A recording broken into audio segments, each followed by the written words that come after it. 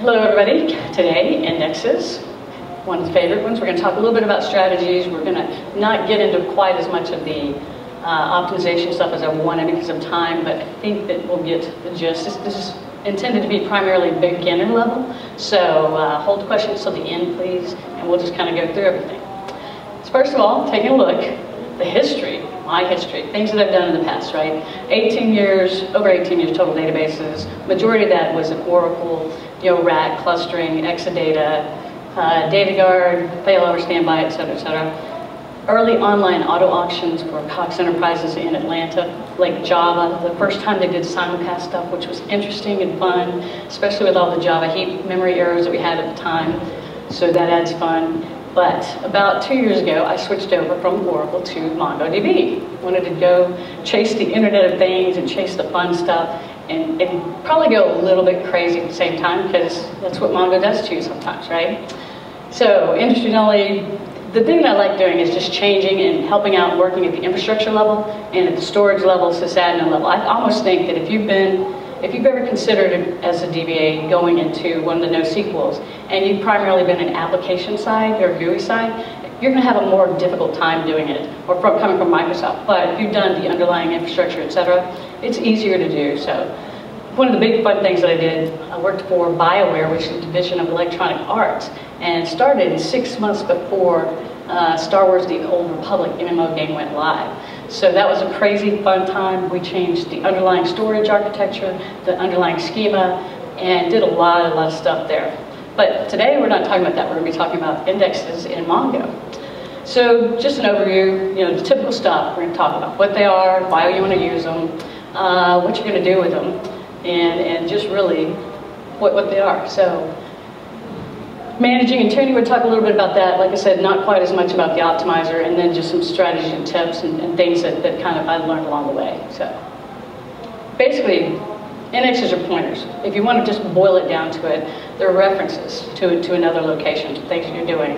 Um, there's a variety of differences, but database index, your definition is right there. Data structure to improve the speed, data retrieval. Basically, you want to find the fastest way to get to your data that you have.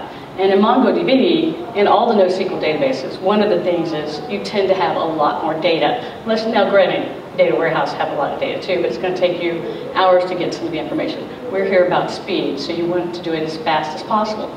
So you want your indexes to be as lean as possible and as efficient as possible. The indexes and the pointers know where the data are. You don't. The MongoS finds that out from the config server, etc. But anytime, you also have to think about it. Some people, I'll talk about this a little bit later, but some people get index happy. happy. They think, hey, I love indexes. Indexes are my friend. Let's go put them on every field. So we'll talk a little bit more about that, but the thing to remember is, if, you, if your application is very write heavy and you put in indexes on too much, every time you write, you're going to have to also update those indexes. And that has other implications besides just your sheer number of indexes. So then, why do we, why do we want to use indexes? Kind of already went over this, but you want to get to your data the fastest. You want to find out the most efficient, fast way to get there, and you want to be able to find documents. One of the things in between a couple of the versions, they had indexes, the index field too long, and they let that slide for a long time in version 2.4. But what really was happening, and in parse customers has this going on, but it's expected behavior. And what's really happening is when that index leaf is missing, to points to a document, that document might as well be gone. You're not going to be able to find it, right? So basically, you want to improve your performance. I already said that. So you have a large collection. There are no indexes on it. You're talking terabytes, terabytes and terabytes. How long do you think it's going to take you to find that index, to find that document that you're looking for if you have, end up having to scan the whole entire thing, right? Needle in a haystack. So how long is that going to take you? That's going to take you a long time. Um, with indexes in all databases, not just the NoSQL databases, but also the relational databases, you get certain different kinds, basically four basic kinds, right? So you've got your bitmap indexes, which point back to bits, look at the rows, you're gonna go through there, and it's good for low cardinality type things, uh, data warehouse type environment, that's always good to there. So basically, it's fast, it's compressed, it's not gonna take that much space. Then you've got your B tree, which a large portion of your database technologies are going to use. including MongoDB. The majority of its older school style uh, things are going to be the B-tree indexes. Then you also have the newer style things that are used by some of the new NoSQL technologies, such as fractal trees. Tokyo uses those, right? Uh, it sorts it a different way, branches it out, but you can do multiple things at the same time without impacting what's going on. And then the LSM as well. So um, you've got basically those. So what do these look like? What do their shapes look like? Two-dimensional bitmap, zeros and ones, bits, just like that. Pretty simple. Your B-tree, your main Mongo, Mongo index. The beauty of the B-tree is that it is self-balancing, right? It keeps the data sorted, keeps it balanced. You know, majority of the file systems for the databases are going to use that, and each branch pretty much is going to end up looking the same. When you get the fragmentation in there, it still keeps that area in way, it just keeps blank empty space. So fragmentation is always a big thing in Mongo, especially the older versions, if you're not working with some of the newer compressed engines. Fractals. Now, you have to love that picture. Like, that could be a great tattoo, I personally think. If I were to get a tattoo that would look like that. Or the one off of The Blind Side. You guys watch that show? That's actually, they've got some cool tattoos. But Fractal Tree, Tokio uses that, you know, some of the rock stuff is looking into it. Rocks is more the, the LSM. There's a lot of great talks. There are a lot of great talks here for LSM. So I'm not really going to like go over that. That's theirs. But you can just look here. You can see how they do the different merging and how that works basically low-cost indexing by moving and merging pieces and chunks. Um, you know, streaming data works well with the streaming data, highly streaming data, so might be good for some people in this audience. And then you go back to the, the MongoDB, right? Which is what we're here to talk about, the MongoDB. So you got your default underscore ID. Basically, it's the one that comes with Mongo. Some people think that they know so much about their application that they should go and change this particular thing to be their shard key and they're going to change the default value.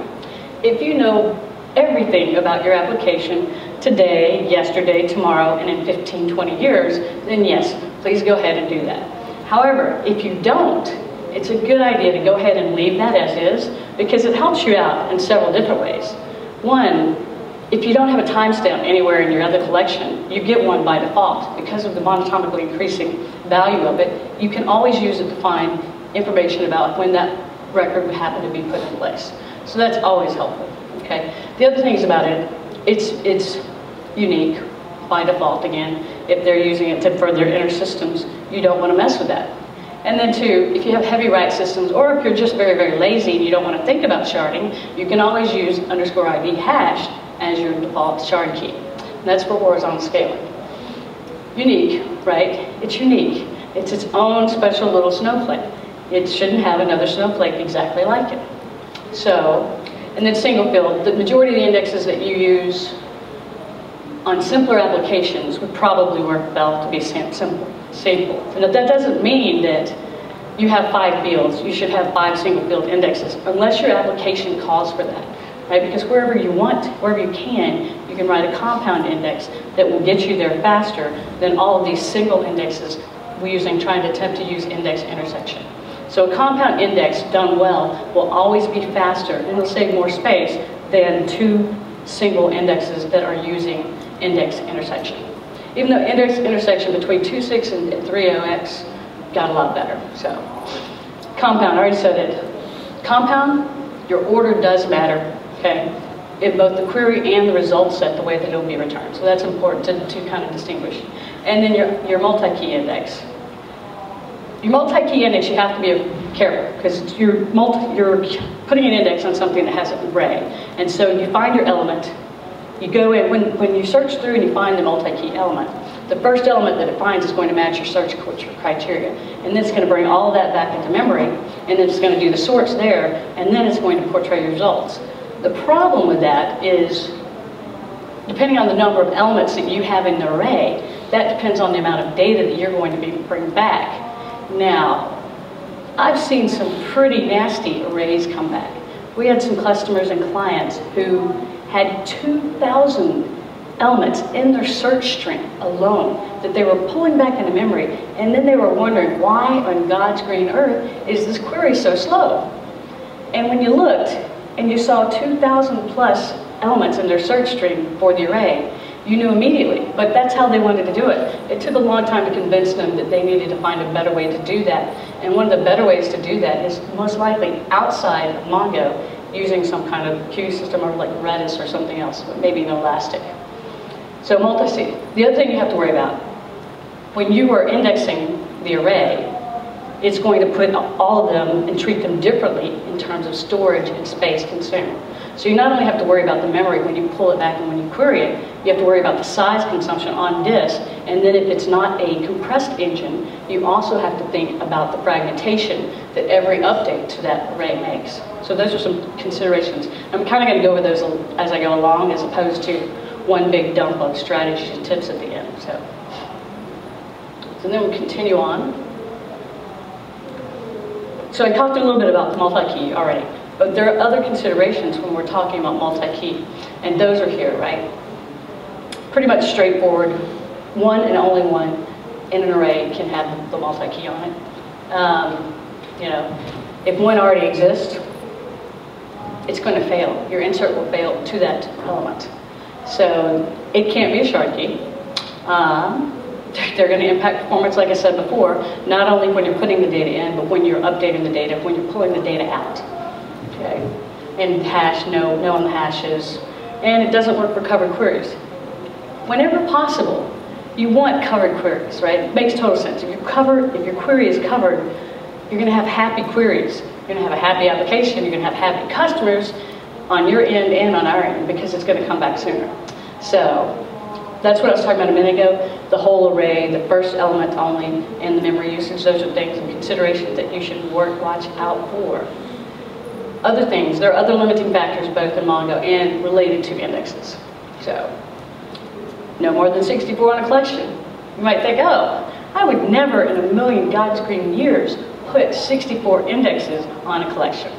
When I first started work, working with Mongo, I don't know how many clients that I would go into and look at their system and they had all of these indexes. And a lot of them, they didn't even know that they were almost exactly the same index.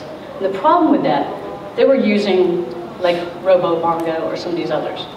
And even recently, the most recent version of the updated RoboMongo, it's not displaying the index fully and correctly.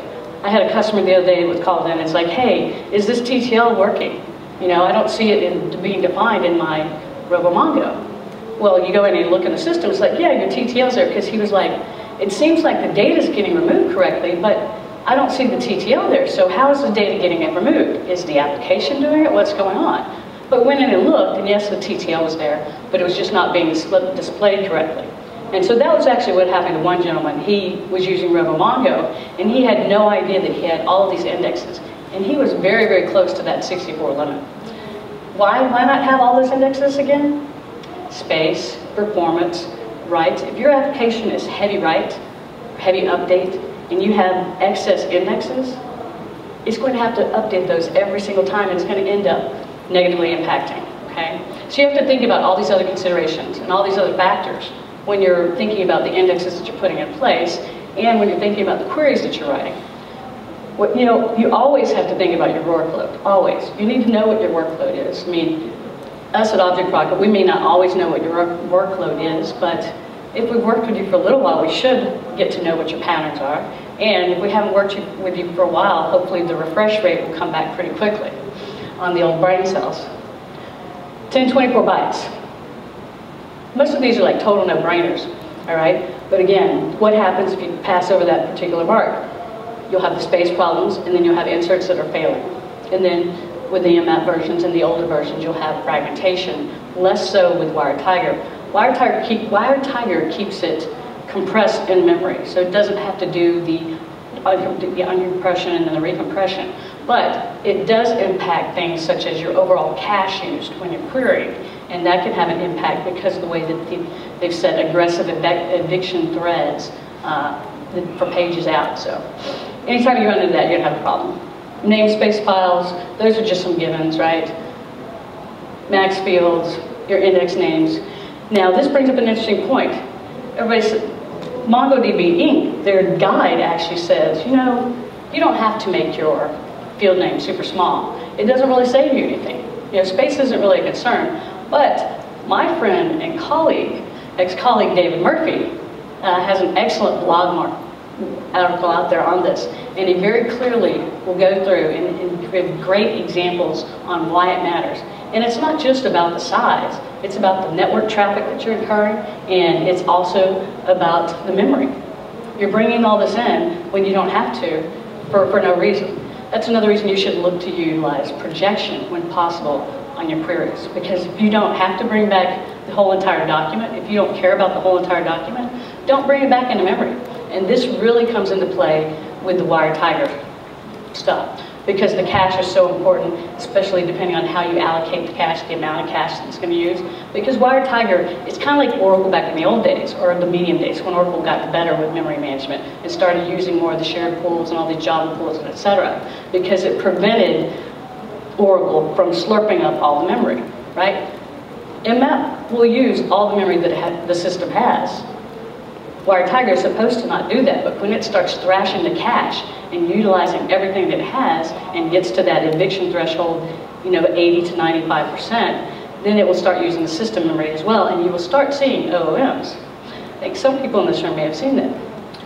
So, the size of a network, then you have to also think about your, your replication logs that are in play, and any journals, just, you're gonna use up more space and everything that you have. So it's not just the one, one size fits all. So now we've got specialty indexes. So this is like one of those situations where I like the fact that today's database world has changed. It's no longer, hey, use Oracle. Hey, use MySQL. Hey, use SQL Server. Hey, use Mongo. It's like, use the tool for what it does best. Polyglot persistence, polyglot glot, programming, right? Use the tool for what it's worth. Personally, I've seen quite a few implementations and utilizations of geospatial in Mongo and attempts at text. The tools that, are, that exist out there are far better. For example, Elasticsearch and its improvements with geospatial in the latest release, I would highly, highly, highly suggest that you utilize either Elasticsearch or you know, something else for the text and for the, for the uh, geospatial. So and then if you wanted to talk about Mongo and geospatial, that would like be hours and hours worth of work and just do it. So despite the improvements that, that Mongo has made, and they have, they've definitely made improvements, I would say use the correct tool. So, and I kind of just point that out there. There's your index, your savings, in terms of just text searching, 50% faster. I mean, really, really good stuff that they're doing there. And the beautiful thing about that, ObjectRocket now has a connector directly from Mongo to Elastic. So, next time, we're going to go ahead now, sparse indexes. So, sparse indexes, it's really only for the fields. It's intended to decrease the size of your index and thus make it faster. And it does that by only indexing documents who have the field that you want in them. So if a field middle name is missing, it wouldn't index that particular field. So that, that's kind of how that's supposed to work and kind of how it does work. However, the partial indexes that we have now in 3.2, they're supersets of the functions. They, they tend to work significantly better. Um, so I would say use those. Shard key indexes, sharding is a whole entire different topic, right? But just a little bit of the basics there, and then we'll, there's a little bit more about them right here. And really this is just the nodes, because you have to spend a lot of time when you're thinking about what your shard key is going to be, you have to do analysis, you have to do query patterns, you have to do profiling, and you should really, really, really take time because a shard key, if you're in a sharded environment, is the single most important thing that you can do is spend the time to figure out your correct shard key. Because large collections, if you pick the wrong shard key, and then you have to dump and restore something that's like anywhere, it really anything over like 30 gig, uh, it's going to take a while. It's going to take a long while. Other limitations with shard key, right, makes sense. Obviously, your shard key, you wouldn't want multi-key. Uh, you wouldn't want it to be text and you wouldn't want it to be geospatial because two things can actually be at the same spot. My foot, my shirt, my whatever else are all exactly pretty much at the same spot on one, on the 2D sphere at least, right? So, so I just wanted to kind of briefly go over, just put them out here for you, how you would create the indexes required for sharding and how you would do the sharding. Uh, it's pretty simple for that part. All the stuff comes in either before or after the beginning. And the time to live indexes, basically this is a great way to automatically delete. things. Now, there are a couple of caveats to that. What you have to be careful about is if you have a social media app and you know that you're busy Thursday, Friday, Saturday, Sunday, and you set only you set a seven day delete, that means that every Friday, Saturday, Sunday, you're gonna hammer yourself deleting last week's stuff. So what you need to do is do like a three or 3.5 day offset for your time, for your time to delete. Because you usually do it expire after seconds. So, and you would get hammered at the top of every minute because that's when the thread kicks off the TTL thread monitor. So sometimes you may be watching your, Wonder, your mongostat, which you should always be doing whenever you're doing massive deletes anyway, and you're like, why does this happen at the top of every second, at the top of every minute? And then as long as it stays there and it goes away, stays there and goes away, you're fine. But if it's there after like 10 seconds, then you probably need to, to take a look at that. So.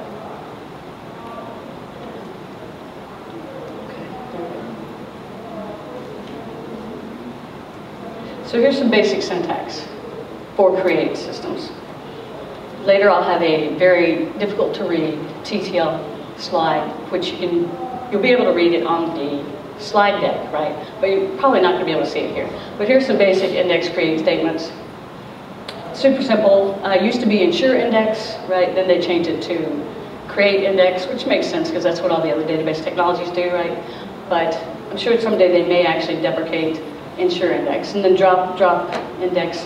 Whenever you create indexes, just the caveat, 2.4 and even into 2.6, if you put, in 2.4, if you create an index and you put background, it created in the background of your primary, but it created it as a foreground process on your secondaries. And so it would hammer and freeze your system because by default, creating the index is a blocking operation. In 2.6, they fixed this. I didn't trust it fully till like later versions of 2.6. And I would still, for larger indexes, for larger collections, for anything like multiple, multiple gig, I would still personally be careful. My friend over here, has, Jason has done some larger ones. Uh, you know, in his trust in the system that I'm a little more uh, old school that way. But sometimes you have to do things because you need to get it done faster for whatever reason. So you, there are things you can do. How to get indexes, all this is basic. All this is you know, stuff that is in there, right? So tuning, tuning indexes. A lot of times the order of fields don't matter. In the single field, in the single field indexes, Order doesn't matter. It can go up the tree forwards or up the tree back, and it doesn't matter. But again, on the compound indexes, it is going to matter. So figure out what you're going to do, what it is that you want to do, what if you're going to be doing range values, if you're going to be going straight there. You need to watch out for scan and orders in your explain plans, because that means it had to do the whole entire thing, right? So which more docs in memory is going to eat up your memory. You're not going to be able to do other things. Um, you know, CPU times. So, and covering. So I kind of mentioned this a little bit earlier. If you have covered queries, you're happy, right? It's going to bring back exactly what it finds, exactly what you ask in a particular way. So this is just a little snippet there, and then I think have this projection. So yeah, the, the covered one's coming in just a second. So projection, this is a lot of words about projection, but basically just saying that you if you know what you're looking for and you know exactly what you want and you don't need all the extraneous BS, don't bring back the extraneous BS. And the beauty of that is, ooh, that was loud. The beauty of that is that a lot of times it won't even have to go to disk to get the information that you're searching. So obviously if it doesn't have to go to disk, you don't have the page faults, you're to be a lot faster. So boom, there it is. And here's an example of the, the covering. And here's all, it also kind of incorporates the, the sort order thing that I was talking about. It talks about the scan and order, right? So on the left, you've got your query, you've got your suboptimal index. I love that, love that word too. Suboptimal index, right? Country, and it's going to go down through there, and it's going to look, and it's going to pull this in there, and then it's going to have to do your sorts in in there, right? So that's where it does the full in-memory scan and order. Whereas if you change it and you limit what you're bringing back from the beginning, based on putting the correct index, based on what it is that you're going to. This is where knowing your query patterns and what they're going to be matters, right? When you're creating the indexes and you know what your query patterns are, it really, really helps. So, but anyway, you go over there, it does your order, it already has it sorted, and you don't have to do the super expensive CPU intensive scan and order. So. And here is where the, the slide was out of order from earlier. Here's the TTL reducer. You actually can read it, which on my laptop you couldn't, so I'm surprised. But this is a snippet, and what this does, when you run this, it has variables built into it so that at any particular time, if you're hurting your system too much, you can stop it. It has an out, right? So that's, that's the beauty of it. Pretty simple. You put in exactly your, figure out your time. There's some other associated queries that I don't have up here, but you figure out, you know, how many documents that you have that you're going to want to delete. Because obviously, the more that you have to delete, the slower that you're going to want to do that. And also, depending on when you're going to be doing the deletes will matter because you don't want to do the deletes in the biggest part of your busy time, right? Especially if you're already a write-heavy application or if you're doing like batch deletes or batch inserts or any other write application. But this is actually, you know, it's been very, very useful, helpful for us in having to clean out some of these. We've had to help a lot of customers do things like this. So, what happens if you have bad queries? You fix them right? You want to tune them, you want to change query, you want to do whatever it is that you have to do. So here's a log entry for one of these, for some of these bad queries that we have. This is what you would look for. These are things you would see. Obviously, if you see the COLLSCAN in there, that tells you that you've just had to go through everything to find what you're looking for. You see how long it took, 3081 milliseconds, milliseconds right? And but you also look at the end scan and in return. You return one result and you scanned 83,000 documents to return one result. Obviously, that's not optimal. So what do you want to do? You're going to add an index because you want to do whatever you can to avoid the entire scan. The, earlier when I was talking about the super large table, it was like 2.3 terabytes, the single table. Imagine doing a COLLSCAN on that. Now granted, the average object size for that particular collection that I'm talking about is only 252, but still, it has 10.5 billion documents in there, even with only two fields and 252 average object size, it's still going to take a while to get your answer back. How you do your answer, this is what you do, you know, avoid that. Here's another query, take a look at what's in there. Again, you're looking at your milliseconds it took to complete.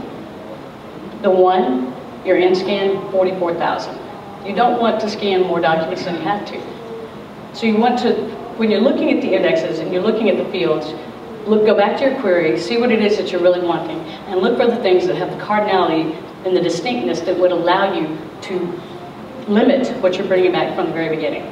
So, okay. Another one here, right? Another example, you know, only 125 milliseconds on that one, only 113, but there's still things that you can do to fix it and make it more efficient.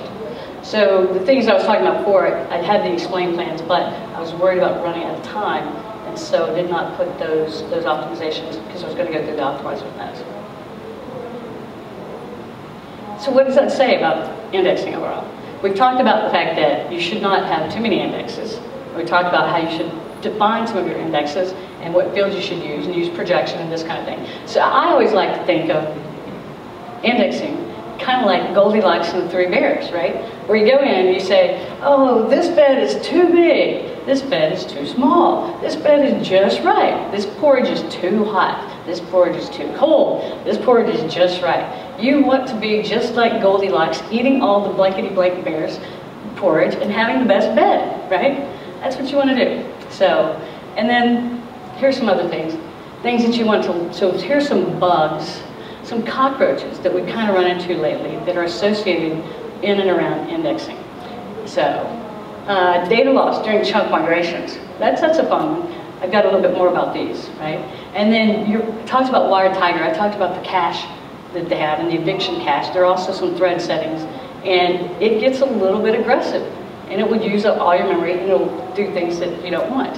It also has a preference right now for removing index pages first. So doing another thing that's not out there in the JIRA system, but we ran into it and found it on a message board from like 2013. It involves the cursor. And like when you're doing long running operations such as uh, backups or initial syncs, and you drop an index, it kills the cursor. And you can, then if you have to recover, if you're planning to actually recover from that backup, it's going to be incomplete backup. Or if you're planning to well, if you've initial synced something for a particular reason and the cursor died, that's not a complete sync. So here's a little bit more information about those, including the list of the bugs, but I pretty much went over that. The biggest thing, you know, there's a workaround for the first one. You know, turn off the balancer or upgrade to 3011. And then the aggressive evictions, that one currently is not supposed to be fixed until 3.3. So that's, there are a couple of other associated bugs around that bug that were fixed in 3.2.5, but not that one. So I thought that was kind of interesting. And then the older version of 2.1, you know, if you step down, you're going to lose data. So that was just kind of a, well, I hope that doesn't happen to you kind of thing. But you have to watch the cursor. So, and then I'm done. Yeah, that's uh, interesting. I should have left those optimizer pages in there after all. So, all right. Uh, if you guys have any questions, you can come up and, and grab me. So.